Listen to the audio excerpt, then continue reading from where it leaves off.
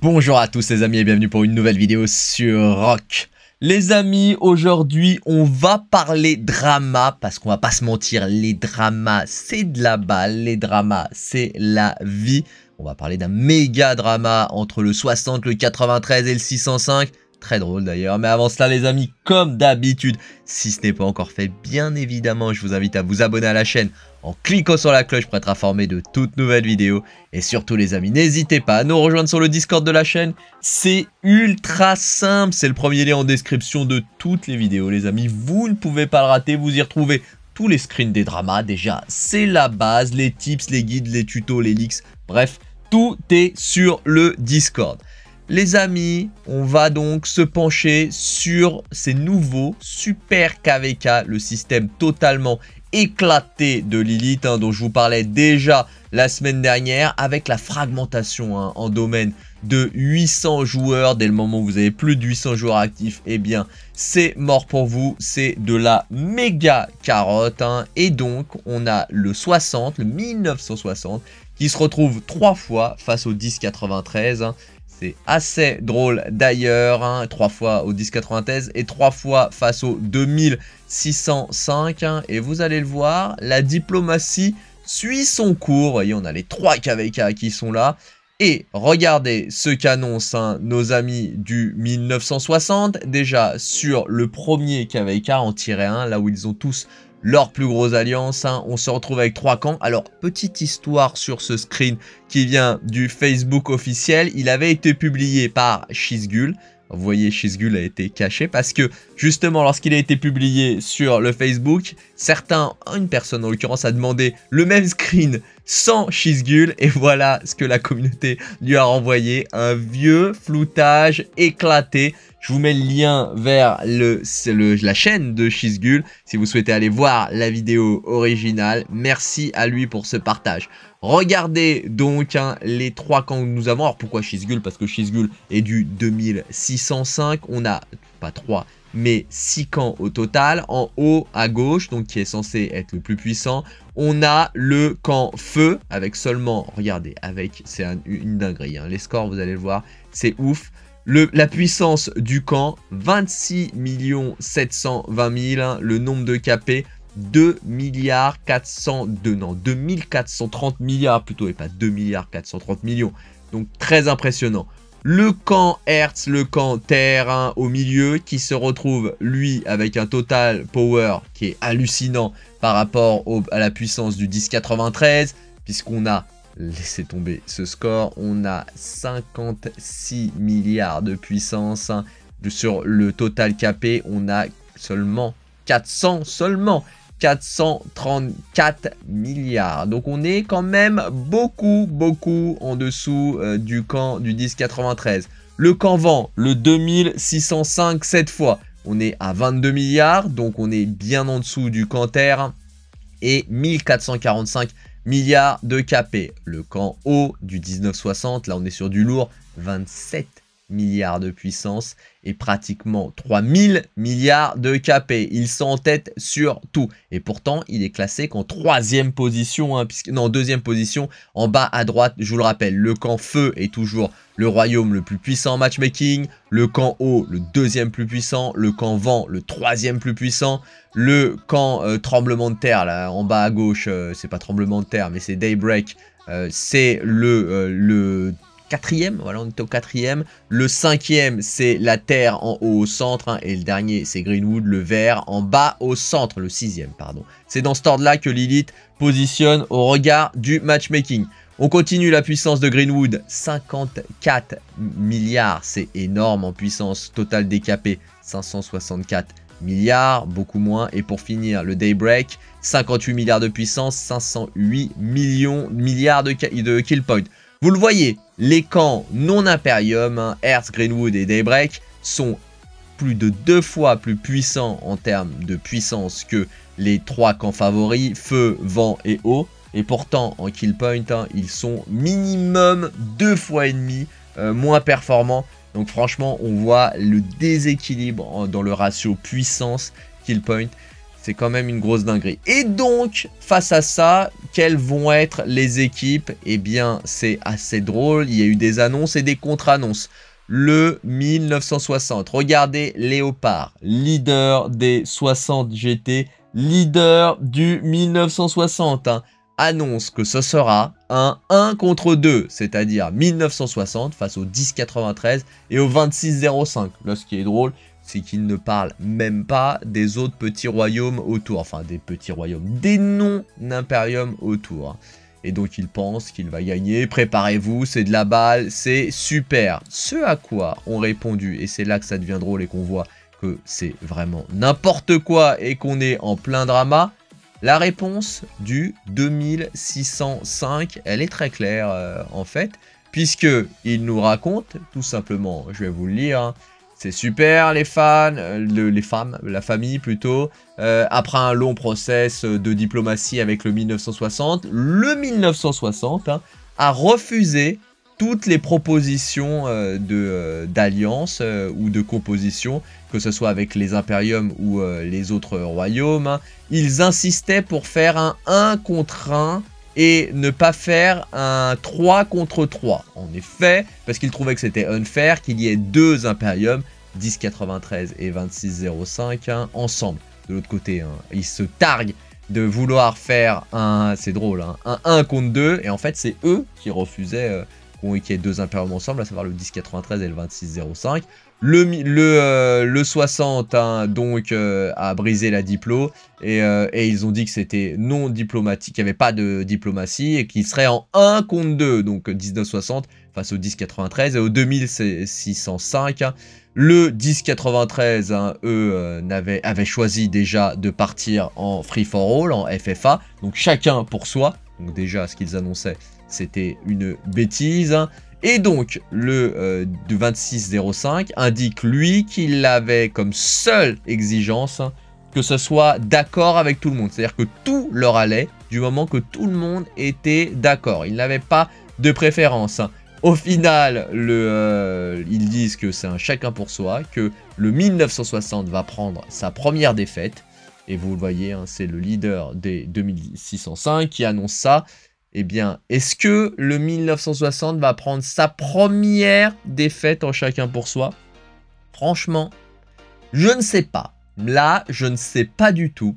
Est-ce que le 60 est capable de battre le 1093 et en même temps battre le 2605 Je n'en sais rien. On va voir qui est le plus solide. J'en serais pas aussi persuadé que ça parce qu'encore une fois, le, 2600, le 1960 a, des joueurs pilotes. Alors oui, euh, le 1093 et le 2605 aussi, mais 1960 euh, on a quand même beaucoup parce qu'ils ont beaucoup de fanboys également. Donc, autre message hein, d'annonce qui a été fait. Regardez, c'était, euh, c'est encore une fois, hein, c'est tout aussi drôle. Ce drama, donc ils sont désolés, ça a pris 5 jours patati patata. Donc, leur allié est personne. Ça sera 1 contre 1 contre 1 contre 3. Donc, les trois plus petits Imperium seront ensemble. Là, c'est un message du 1093. Les trois plus petits, euh, les trois non-impériums, les trois zones non-impérium seront ensemble et les impériums seront tous tout seuls puisque aucun accord de team n'a été trouvé avec le 1960. Ils ont essayé d'avoir quelque chose euh, d'équilibré, de balanced. Donc au final, comme ils disent, hein, la map hein, elle est assez hard avec trois Imperium et qu'il serait resté euh, un camp qui serait principalement B et C, hein, que le plus petit des camps était, euh, enthousiasme, mais bon, ça allait être... Euh, qui vont servir qu'à faire du support. Hein. Avec ça en état d'esprit, il n'y avait pas beaucoup d'options 2 versus 4, 3 versus... Au départ, il voulait un 2 versus 4 ou un 3 versus 3 ou un 4 versus 2. Mais euh, dans la dernière minute, hein, euh, les trois camps euh, n'arrivant pas à se mettre d'accord. Hein. Euh, ils ont décidé, ils ont euh, essayé de faire un, match hein, avec le 2605. Hein, il y a sur le 2 versus 4 ou 4 versus 2. Euh, mais finalement, le 2605, finalement non, était plutôt d'accord pour tout. Donc ils sont cool le 2605, hein, ils l'ont dit, ils voulaient juste quelque chose qui soit d'accord avec tout le monde. Ils étaient plutôt d'accord pour tout, euh, du moment euh, que tout le monde était d'accord encore une fois. Hein. mais le 1960, eux, n'étaient pas OK sur les compositions. Hein. Ils, voulaient un 3 contre 3. Ils voulaient 1960 avec le 2605 et le Canter. Autrement dire, une bonne longe. Hein. Donc c'est ce qu'ils voulaient comme montage. En fait, le 1960, pourtant c'est pas leur genre, mais là, ils semblaient vouloir un KVK facile.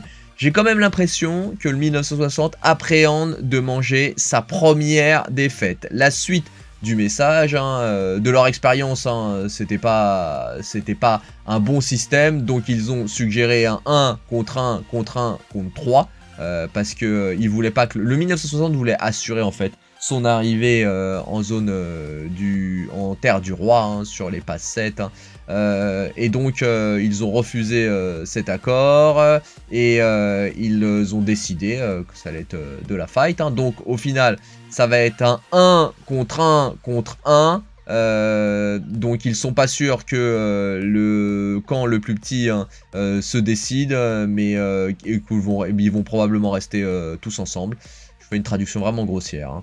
Euh, je vous fais l'idée, parce que j'ai lu d'autres choses en fait. Hein. donc je vous faites la traduction dans l'idée de la finalité. Hein. Et donc euh, que s'il y a des, champs, des modifications, hein, elles seront postées. En tout cas, on est sur du méga drama entre Imperium, surtout le 1960 qui fait leur device. Vous avez dit qu'ils avaient déjà saisi le support VIP parce qu'ils trouvaient vraiment unfair, euh, déséquilibré ce nouveau système de, de KVK. Au final, ils l'ont fait savoir parce que c'était un problème de diplômes, tout simplement. Hein. Ils n'ont pas envie de perdre. Bon, alors qui a envie de perdre un KVK Personne, c'est sûr. Mais eux, encore moins que les autres, puisqu'ils n'ont jamais perdu de KVK à ce jour. Encore une fois, est-ce que le 2605 va avoir raison et que ce sera leur première défaite? On va suivre ça de près les amis, je vais le suivre pour vous hein, et je manquerai pas de vous tenir informé de tout ce qui se passe et tout ce qui se dit. Ça va aller très très vite quoi qu'il arrive. Les amis, revenons à présent sur les ouvertures de porte du l'énorme KVK du 1034, le 1034 qui est sur le même KVK que le 2377, les GV77. Je vous le rappelle, on est 1671 le camp rouge avec les 1034, les 1V, le camp violet en bas à droite Tornade, hein, et le 2377 avec le 1606 et le 2359. En théorie, si le 1671 va au sud, il devrait plier le 1606. Hein. Si le 1606 et le 2359 va à l'est, hein, il devrait se faire plier par le 1034. Hein. Entre les deux euh, au nord, euh, on a là on a une zone, on va voir qui gagne. Et entre les deux à l'est, on a une zone de fight. Le 77 devrait normalement battre le 1034, mais c'est pas évident le 1034 va perdre encore un KVK. Euh, je n'en sais rien à ce stade et on va voir ça tout de suite. C'est pas gagné euh, du tout hein, pour le 10-34. Comme vous allez voir, allez on finira sur la partie euh, du 10-34. Commençons par la zone qui normalement est une victoire facile pour le 16-71. Le favori face au moins puissant de tous les royaumes. Eh bien, regardez, regardez. Je vous ai dit, il n'irait pas au sud. Eh bien, finalement, ils sont sortis, puisque regardez, ils ont voulu construire ici, et ils sont sortis. Mais, vous voyez, ici, zoom, zoom hein, c'est la guerre. Mais au final, ils sont en train de se faire déboîter le 1671. Alors, est-ce qu'ils ont envoyé qu'une alliance de sub euh, sur cette zone-là? C'est quand même ceux qui tiennent la porte. Hein. C'est Akan. Akan, c'est une alliance à 12 milliards. Si on regarde la coalition, euh, une petite alliance, hein. c'est loin d'être la plus petite, c'est la deuxième plus grosse hein, euh, du, euh, du 1671, les Hakan. Donc, derrière les MGN, donc, ils se sont fait déboîter clairement. Hein. Là, sur cette zone-là, ils ont bien mangé leurs dents. Ça va quand même être très très chaud pour eux. Regardez, la forteresse des Gurs qui brûlait qui ne brûle plus. Alors les Gurs, on est sur de la sub, encore une fois, les Magus et pas les Mags de la sub du, euh, du 1671, c'est quand même très dur pour eux. Euh, au sud, hein, les INR, INSI, INSP et toutes les, les divisions qu'ils ont et leurs subs sont bien là. Les TLVG, alors ça dit rien tout de suite, mais si on regarde la coalition, on voit tout de suite hein, qu'on est du côté du 1606. Bref, ils se sont fait bien défoncer, euh, nos amis du 1671 au sud, mais on peut se dire c'est peut-être parce que le 1606 a mis toutes ses forces au nord et que le 1671, lui, a mis toutes ses forces à l'est contre les GV77. Regardons ce qui se passe à l'est. eh bien, il n'y a rien. Ils n'y sont même pas allés. Ils n'ont même pas tenté d'affronter les GV77. Donc au final, le 1671, le favori de ce KVK en termes de puissance et matchmaking. Merci Lilith pour ce matchmaking puissant et vraiment équilibré. Et en train de se faire rouler dessus par le moins puissant. Ça s'annonce pas bon, pas bien du tout pour nos amis les 1V. Regardons au sud, si les 1V roulent sur tout le monde, il n'y aura pas de discussion. Hein. S'ils nous font une 1960 ou une 1093, il n'y aura pas de sujet. Eh bien, euh, regardez, est-ce que les 1V sont là? Ouais, les 1V sont là. Mais, regardez, euh, ils sont là, ils sont sur une zone de contact ici. Regardons cette zone de contact. Ok, les drapeaux brûlent. Ils sont en train d'avancer, mais ils, ont dû sortir que tardivement. Parce que les INSH hein, sont bien dans la place. Hein. ils ont bien tout pris, mais ils sont déboîtés. Donc, le 10-34 est en train de... Euh, leur drapeau a brûlé quand même. Est en train tranquillement de reprendre la place, mais ils ont dû arriver en retard. Donc on peut se dire ils arrivent en retard parce que ils ont poutré les GV77 au nord et maintenant qu'ils les ont bloqués, ils vont sur le territoire Wedgie pour dégager les INSH. Ok, ça se tient.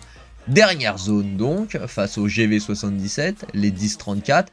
Qu'est-ce qui se passe? Eh bien, on voit un mur des GV77, des 2377. Hein. Et ce mur n'a pas tellement de challenger, comme vous pouvez le voir. Hein. On a dû avoir une sortie timide des 1V, mais au final, les 1V se sont fait tout simplement déboîtage. Ils se sont fait éclatax au 28 millième sous-sol. Là, pour le coup, on n'était pas au troisième. Ils se sont fait brûler. Ils ont dû à peine sortir. Hein. On le voit bien. Il y a des traces, des vestiges du combat. Donc, au final, sur trois zones de combat, les GV77 et leurs alliés des 1606 ont gagné, euh, sur 4 zones, ils en ont gagné 3, donc vraiment un carton. Et en wedgie, le 10-34, hein, les 1V hein, se sont repliés sur cette zone-là face à leur défaite écrasante sur la zone hein, euh, Tahiti. Du coup, ça va devenir un KVK de farming. Je vous l'annonce, les 1V n'iront pas en Kalcha, les 1V n'iront jamais en Macha, ils n'iront jamais en Betafo, ils n'iront jamais en Pasuruan. Et à mon avis, ils ne verront même pas, ni eux, ni leurs alliés, les terres du roi. Vraiment très très décevant les 1V. Je pense qu'après toutes les rumeurs, toutes les provocations qu'ont mangé les 1V hein, sur les différents KVK, où on les appelait les Runv, on disait qu'ils avaient des KVK faciles, on leur disait que c'était en fait une alliance éclatée, juste des payeurs, mais personne au final hein, de vraiment solide. Eh bien, ça semble malheureusement le prouver. Ils ne sont une nouvelle fois pas au rendez-vous. J'espère que ça ne sonnera pas le glas pour le serveur 1034. Voilà, écoutez les amis, c'est tout pour cette vidéo. J'espère qu'elle vous aura plu. Si c'est le cas, les amis, comme d'habitude, n'hésitez pas à lâcher un colossal pouce bleu. Vous le savez les amis, ça me fait vraiment très plaisir et ça aide énormément le développement de la chaîne. Si ce n'est pas encore fait les amis, qu'attendez-vous Qu'attendez-vous pour vous abonner à la chaîne en cliquant sur la cloche pour être informé de toutes nouvelles vidéos je vous souhaite un bon jeu à tous, un excellent week-end à tous les amis. Prenez soin de vous, faites bien attention à vous et je vous dis à plus sur Rock.